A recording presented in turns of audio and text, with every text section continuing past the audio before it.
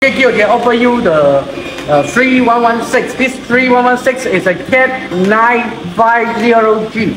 And this one we touch, we review, and later we try the engine is okay or not.